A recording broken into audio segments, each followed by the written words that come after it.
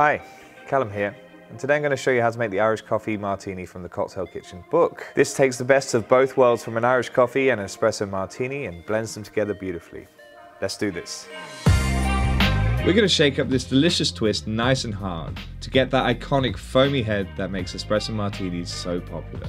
Chill your glass, then pour your Irish whiskey. I prefer to use a good spicy Irish to get maximum impact of flavour. Freshly brewed coffee or espresso is essential here, but remember to cool your coffee before you use it to make sure you have control of the dilution.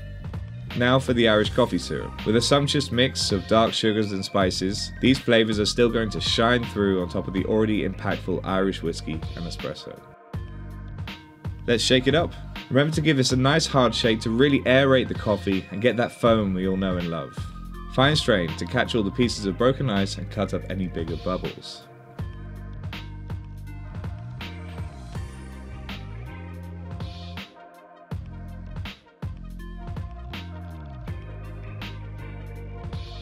And there you have it, an Irish coffee martini. Enjoy.